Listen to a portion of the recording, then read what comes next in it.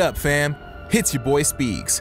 Welcome to another episode of Gamer Time on nikkisiixx.com. terrible world which remains. This week, we're taking a look at Mad Max on the PS4 and Xbox One. The first thing I gotta say about this game, it's definitely not Fury Road. He was one such man. If you've ever played a movie tie-in, then you should be wise to the fact that they're normally sloppy rush pieces of work which do a half-assed job of representing the source material. damage out front, but it should work. Be happy to know that Mad Max the video game has an original aesthetic to call its own.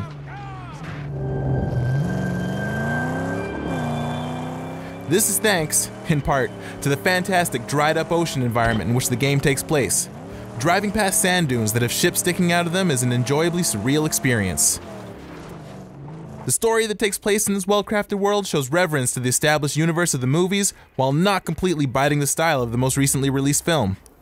One example of this is how, while Max still doesn't say much, he's definitely a lot more talkative than Tom Hardy's take on the character.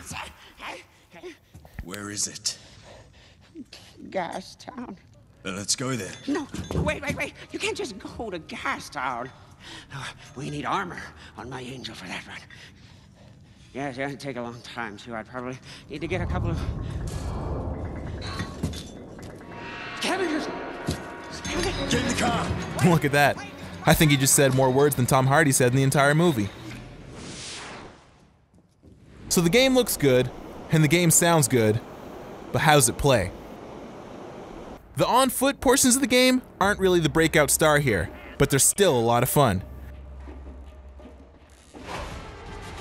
The hand to hand combat uses the counter system popularized by the Batman games, but Max is no Arkham Knight, and he sure isn't Talion from Shadow of Mordor. This actually ends up working in favor of Mad Max's non derivative formula. At first, it's unsettling how immobile Max seems. But once you realize that it wouldn't make sense for him to be leaping across the screen delivering a front flip axe kick to a henchman 20 feet away, you begin to appreciate Max's slower style and its emphasis on perfectly timed button presses, which result in brutal counters. The simple explanation for why Max is pounding in all these faces? He needs gas for his car. He needs gas for his car so that he can blow up other cars and get parts in order to fashion the upgrades necessary to take down his adversaries. So, it makes sense that the car combat in this game is absolutely exhilarating. High speed chases with convoys,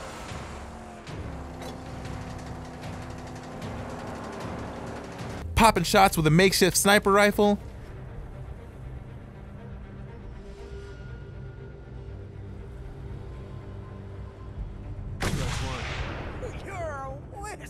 The long shot is your one!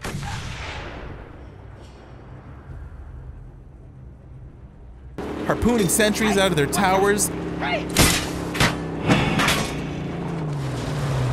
and a satisfying upgrade system that let me throw some D's on the whip, those are this game's bread and butter, and they're the main reason that you should give it a shot. It feels like you're always getting an upgrade that'll let you do something that you couldn't before, and there are plenty of areas where, in other games, you'd assume that you just couldn't drive, but Max is a road warrior and he does what he wants.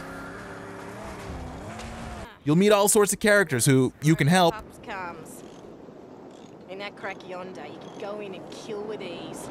or even might end up helping you. So spending time exploring in between missions is highly recommended. Speaking of highly recommended, this game gets the thumbs up from me as well. If you weren't sure on it because you thought that it might be a movie game, dead that nonsense. Mad Max makes a great use of the license and really puts you behind the wheel, so to speak. Here's some uninterrupted gameplay.